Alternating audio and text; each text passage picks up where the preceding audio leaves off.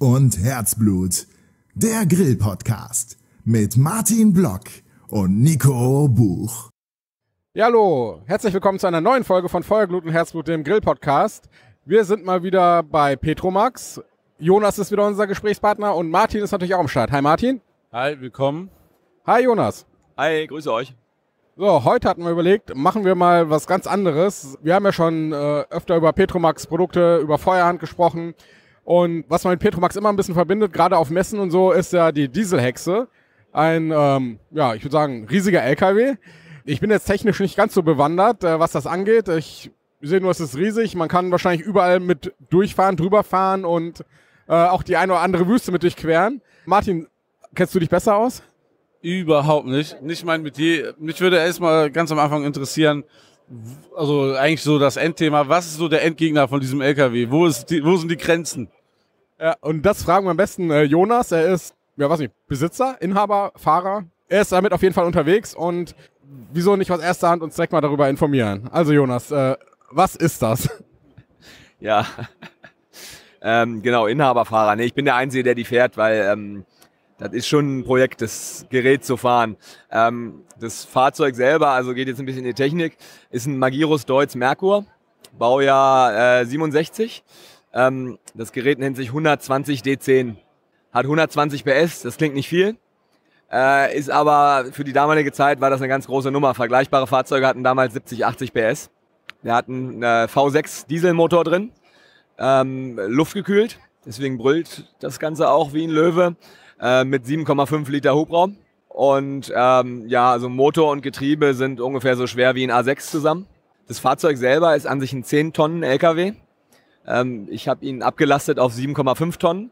Dient einfach dazu, äh, dass man das Fahrzeug mit einem alten Klasse 3 Führerschein fahren kann. Wir sind auch ungefähr bei, also wenn ich zu viel Burger esse, könnte ich schon an die Grenze kommen. Genau, äh, das, äh, die Idee für das Auto äh, kam eigentlich daher, ich war im Jahr 2000, 2001 mit genau so einem Fahrzeug in Afrika. Und da habe ich auch Petromax das erste Mal gesehen. Geschichte hatten wir, glaube ich, letztes Mal. Ähm, und äh, ich, also einfach ein wunderschönes Fahrzeug. Äh, unser Fahrzeug ist unten leider zerbrochen, also der Rahmen ist zerbrochen, der Motor ist rausgefallen und äh, ja, wenn man so Sterndünen und so eine Späße fährt, ne, also ähm, das ist schon, ist schon eine Ansage. Naja, und wir hatten jetzt irgendwann vor einigen Jahren über den Messestand nachgedacht und ein Freund von mir meinte, du hol dir doch einen Magirus. Ich gesagt, du, äh, was soll ich denn mit so einem Ding? Er sagt, pass mal auf, du machst jetzt, baust jetzt einen Messestand und in zwei Jahren haust den wieder weg, weil die Schrauben nicht mehr halten, die Leute kommen, kenne ich und überhaupt. Das, das Fahrzeug passt zur Geschichte. Das Fahrzeug ist authentisch. Das Fahrzeug wird, umso älter es wird, umso besser wird's. Umso mehr, umso mehr ähm, Leute gucken. Es ist der super Eyecatcher auf jeder Veranstaltung und es macht ja auch ein bisschen Spaß. Und äh, nutzt du das nur zu Werbezwecken, also für Petromax selbst, oder bist du damit auch noch irgendwie unterwegs? Also ich muss, man kommt ja so langsam in das Alter. Ne? Also äh, ganz kurz nochmal zur Erklärung. Also das Fahrzeug ist unsynchronisiert. Das heißt, ich muss jeden Gang Zwischengas schalten. Also das heißt, äh, Kupplung treten, Gang raus, wieder Kupplung treten, Gang rein. Und zwar nicht einfach nur Gang rein, sondern fühlen, wo ist der Gang, will er rein, will er nicht rein. Beim Runterschalten ist es nochmal schwieriger. Da muss ich noch Zwischengas geben. Also Kupplung treten, Gang raus, einmal kräftig aufs Gas, Kupplung wieder treten und mit Gefühl den unteren Gang rein reinlassen. Also das ist schon äh, ein Projekt. Hat auch keine Servolenkung. Ne? Ähm, das heißt, im Stand lenken oder so ist keine gute Idee. Ähm, zur Nutzung, also wir nutzen die natürlich für Messen, für Promotion. Äh, äh, das Fahrzeug ist ursprünglich THW, also gab es auch beim, bei der Bundeswehr. Und so ein Fahrzeug ist halt ein Fahrzeug, kein Stehzeug. Das heißt, du musst das Ding regelmäßig bewegen. Äh, und ich mache das in der Regel so, dass ich einmal im Monat eine Bewegungsfahrt mache, 40, 50 Kilometer. Ich habe auch schon mal eine Urlaubstour gemacht nach Potsdam. Ist natürlich relativ spritintensiv, die Geschichte. Ne? Also wir sind hier, wir reden hier, äh, äh, also auf der Straße reden wir so von 25 Liter Diesel auf 100 Kilometer. Und im schweren Gelände kann das auch mal 100, 110 Liter sein. Ne? Also äh, je nachdem, wie ich dann den Reifendruck ablasse und was ich da ernsthaft befahre. Ne? Und jetzt, du bist ja von Magdeburg hier hingekommen nach Köln. Wie weit ist das und wie oft musstest du tanken? Äh, äh, wir sind 420 Kilometer. Der Tank ist relativ großzügig. Also ich habe insgesamt, glaube ich, 280 Liter an Bord. Äh, da kommt man schon, kommt man schon ein bisschen weit mit. Aber der Tankwart freut sich, wenn man ankommt, guckt nicht schon, hey, hey, weiß schon, ja, gleich geht wieder 380 äh, Euro oder was das dann ist rein. Und mal so eine buchhalterische Frage. Ist das äh, ein Dienstwagen oder äh, wie ist das so im Firmeninventar verbucht? ja, ist ein Dienstwagen. Also die 1%-Regel läuft nicht drauf. Ich hatte mal, wir hatten mal irgendwann eine, eine Steuerprüfung, muss ich sagen, war sehr nett. Also kann ich an dem Punkt echt nur sagen, also mit Leuten nett redet, kriegt man auch eine nette Antwort. Und die Dame meinte, na traurig, also ihre Spritverbräuche, das ist aber schon ein bisschen merkwürdig, das glaube ich Ihnen aber nicht. Dann meine ich, kommen Sie mal mit. Nicht zu der, also extra eine Halle für die, Diesel, für die Dieselhexe. Zu der Halle gegangen, machte das Tor auf. Ich meinte, äh, noch irgendwelche Fragen? Oh. Nee, ist schon, äh, glaube ich Ihnen, ist in Ordnung. Ne? Okay, also der Fahrkomfort, hast du gerade gesagt, ist ein bisschen, ähm, ist viel Handarbeit mit dem ganzen Schalten und so. Und hinten ist da so ein riesiger Aufbau drauf. Ähm, was ist denn so innen drin? Ist das äh, so ein bisschen wohnmobilmäßig oder ist es reine Lagerfläche für die Produkte, wenn ihr zu den Massen, Messen fährt? Oder ähm, wie sieht es innen drin aus? Äh, der ist, also der Koffer ist komplett ausgebaut äh, als Wohnmobil. Das heißt, äh, da ist ein Bett drin, da ist eine Kompressorkühlbox drin, da ist eine Standheizung drin, äh, da ist eine Spüle mit Wasser drin, äh, ein, ein Grauwassertank, alle, also alles außer eine Toilette. Muss ich nicht unbedingt haben, dass ich mich da irgendwo reinsetze. Ähm, ja, äh, ansonsten ist der wirklich komplett ausgestattet. Ware auch schon, als wir ihn gekauft haben. Äh, wir haben halt nur nochmal überarbeitet, nochmal, weiß nicht, Batterie umgebaut, Standheizung neu verlegt äh, und das ist halt immer, hast immer was zu tun an dem Fahrzeug, ne, weil das, die, die, die rostet dann einfach schneller als ihr Schatten. Ne? Also äh, du, du bist vorne fertig und denkst dir, alles toll. Denkst dir, was ist denn das für eine komische Blase? Hinten drückst du drauf, rums, Rost. Ich glaube, letztes Jahr abgeschmiert, lackiert. Wie kann denn das sein? Ich weiß es auch nicht. Ne?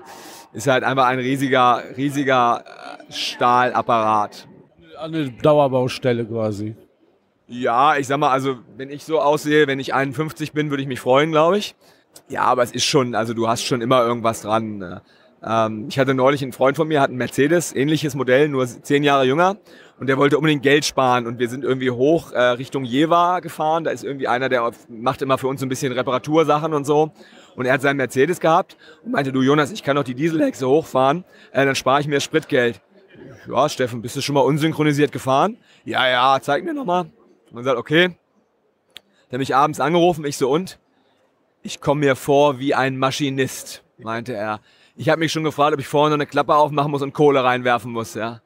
Äh, ja, ist halt ein Unterschied. Ne? Also äh, das ist halt, äh, die Technologie von dem Fahrzeug ist halt einfach nochmal einen Zacken älter. Ne? Die Konstruktion vom Fahrerhaus ist aus den 40er Jahren und das merkt man auch. Ne?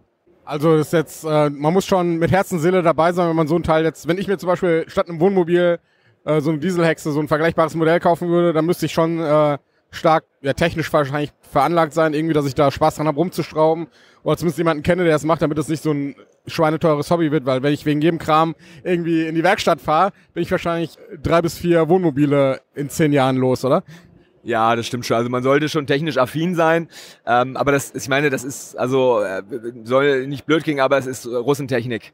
Also äh, wenn irgendein Gummi kaputt ist, dann kannst du dir halt ein Stück Gummi besorgen, per Bunan, schneidest das mit einem Cuttermesser zu, steckst das rein und das funktioniert in der Regel. Ähm, äh, die Teile gibt's fürs Fahrzeug noch relativ gut. Ähm, man sollte technisch affin sein. Was das Schöne halt ist, also ich habe ja so ein Autofable, ich habe noch andere Spielzeuge, aber ähm, mit der Dieselhex ist es einfach so, du fährst durch die große Stadt, da ist irgendwo ein Platz, wo Party ist, vor dir steht ein Ferrari, und du fährst hinter dem Ferrari her und fragst anschließend die Leute, habt ihr den Ferrari gesehen? Wieder war ein Ferrari. Ich habe dieses riesige Ding gesehen. Ja, und das macht halt schon, macht halt schon Spaß. Ich hatte mal einen, der ist gegen Laternenpfeil gelaufen. Der hat sich umgedreht, Maul auf den Pfeil und rums gegen Laterne gelaufen. Ne? Also.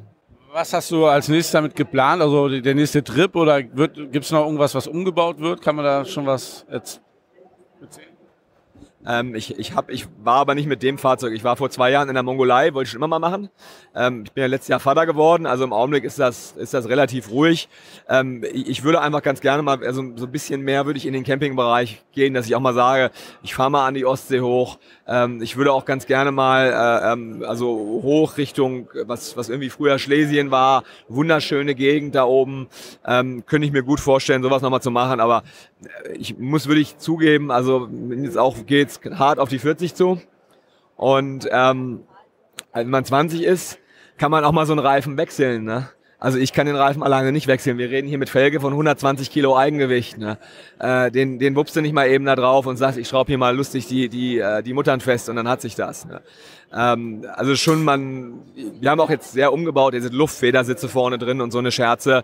Aber 400 Kilometer am Stück zu fahren ist schon, also du musst halt hochkonzentriert sein. Ne? Weil wenn du halt nicht aufpasst, dann macht neben dir Knack und dann ist der Golf weg. Ne?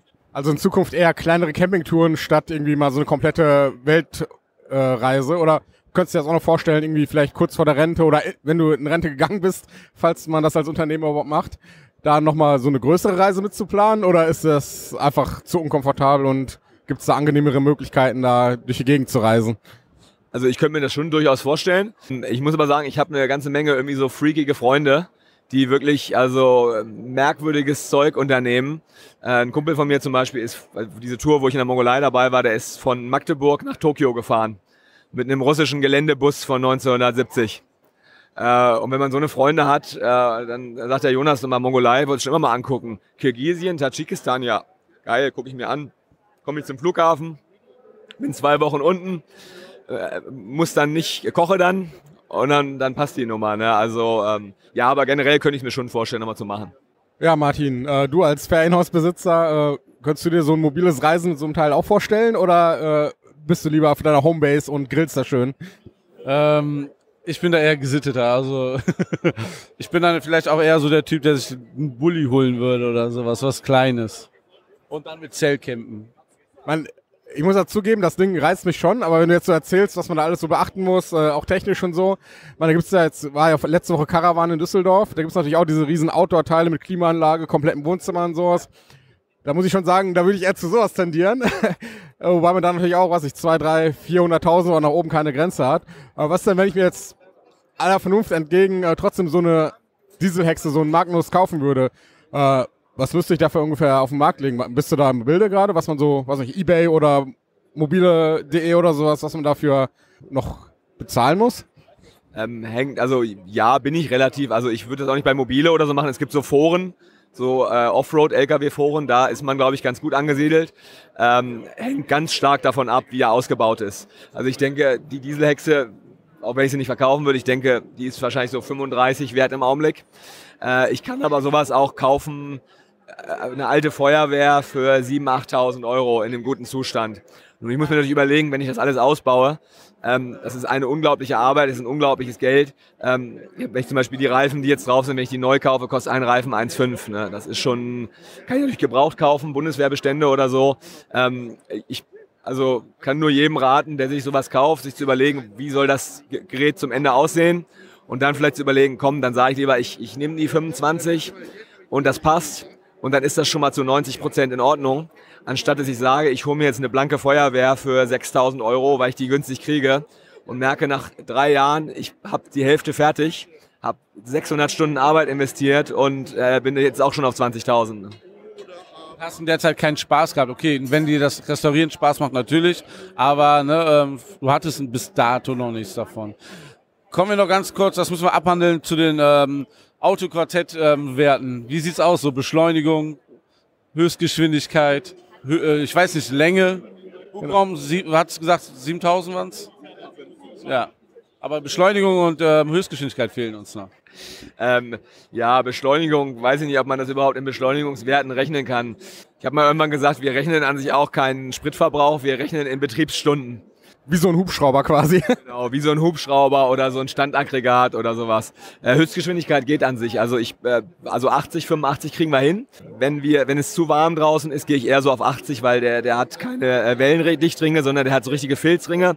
Und dann steht die auch mal an der, an der Ampel und sprotzt halt bei jeder Umdrehung 100 Milliliter Öl auf den Boden, wenn die zu heiß wird. Dann gucken die Leute immer, oh Gott. Dann sage ich mal ganz locker, äh, loslaufen lassen, runterkühlen, dann gehen die Ringe wieder dicht und dann läuft so weiter. Aber bei, weiß ich nicht, was die drin hat, 15, 16 Liter Öl locker, äh, ist das natürlich auch vollkommen egal, ob da mal 100 Milliliter rausgehen oder nicht. Ne? Du wirst regelmäßig an, an Berganfahrten von LKWs überholt wahrscheinlich, oder? Nee, gar nicht. Äh, das ist ganz witzig. Also äh, du kannst wirklich mit den großen LKWs schwimmst du sehr sauber mit. Äh, am Berg, auch Kasseler Berge und so, ziehe ich die alle ab. Ich habe ja nichts drin an Ladung. Ne? Ähm, also das ist schon, ist schon in Ordnung. Ne? Ich meine, 120 PS heutzutage ist kannst ja einen Golf kaufen mit 500 PS, brauchen wir nicht drüber reden. Aber ähm, also das ist schon echt okay. Also mit, mit 85 Sachen kommst du auch halbwegs weg. Verbrauch ist auch okay. Ähm, wie gesagt, Hub ist auch okay. Es gibt den noch mit einer größeren Maschine, den hat er glaube ich 10,5 Liter, hat aber auch nur irgendwie 20 PS mehr oder 25 PS mehr. Ähm, nee, bist du auch nicht schneller am Ziel. Aber du hast halt dann doch im oberen Drehzahlband merkst du, dass du doch noch mehr, mehr Drehmoment zur Verfügung hast. Ne? Aber ich habe noch nie, also ich bin, also mit dem anderen äh, sind wir Sachen gefahren, wo du denkst, das kann ein Auto gar nicht fahren. Ähm, und das hat er auch gemacht, also so Sterndünenfelder und Weichsand, also wo, wenn du wirklich aussteigst und du stehst bis zum Knie im Sand, das macht so alles ganz komfortabel. Ne? Okay, dann hätten wir ja soweit alles geklärt, ne? Und noch die wichtigste Frage am Ende. So ein LKW, ne? Der schreit ja nach einem Funkgerät, um ja cool auf der Autobahn zu funken. Hast du ein Funkgerät in deinem Auto und oder in deiner Dieselhexe? Und wenn ja, äh, wie ist dein äh, Funkname oder Call Sign oder wie nennt man das? Nee, habe ich nicht. Man würde auch, glaube ich, nichts verstehen bei der Lautstärke des Motors. Aber ich muss gestehen, ich habe eine Rückfahrkamera. Oh, das hätte ich jetzt nicht erwartet, aber nicht schlecht. Ja, dann würde ich sagen, äh, hätten wir ausgiebig über die Dieselhexe gesprochen. Äh, vielen Dank für die Einblicke in dieses äh, ja doch schon Höllengefährt. Und ja, auf jeden Fall eine gute Heimreise nach Magdeburg. Wann geht's los? Mittwoch wahrscheinlich wieder, oder? Nee, ich werde morgen Abend hier über den äh, Stand fahren, den Nachbarstand mit einreißen. Nee, wir, ja, morgen, morgen Nachmittag kommt der Messebauer kurz vor Schluss, baut so ein bisschen die Setting ab und dann fahre ich raus und fahre dann relativ schnell zurück, weil ich möchte äh, Donnerstag, Mittwoch werde ich fahren den ganzen Tag und möchte Donnerstag fit im Büro sein. Ähm, also morgen zurück. Ich schlafe dann in der Dieselhexe, ist kein Problem. Bier ist im Kühlschrank, läuft und dann passt das. Falls du noch einen Burger auf dem Weg brauchst, sag Bescheid. Ne? ich habe Bilder auf Facebook gesehen auf dem Hinweg, da warst du, glaube ich, bei der fetten Kuh schon mal. Kannst ja auf dem äh, Heimweg auch noch mal ein bisschen Proviant einpacken. Ja, die wollte ich schon immer mal machen. Die guckten auch alle ganz komisch. Ähm, äh, von vorne kam dann auch, ich bin eine Seitenstraße abgebogen, dann kam von vorne so ein krassen Dreiern BMW. Die meinten, ich müsse jetzt zurückfahren. Äh, nachdem ich dann so einen halben Meter an sie rangefahren bin und die, einmal das Horn angemacht habe, haben sie dann doch gemerkt, das wird nix. Äh, das war schon, war schon lustig, wenn du da in der Kurve zweimal äh, wieder zurück musst, um um die Kurve zu kommen. Okay, ja, dann äh, vielen Dank für die Infos und ähm, ja, wie gesagt, gute Heimfahrt. Tschüss. Gute Heimfahrt, noch gute Messetage hier am schönsten Stand der ganzen Messe, muss man ja mal ehrlich noch sagen, schnell. Und ähm, ja, vielen Dank, dass du Zeit für uns hattest. Ja, danke für die Blumen und euch auch noch ganz viel Spaß hier.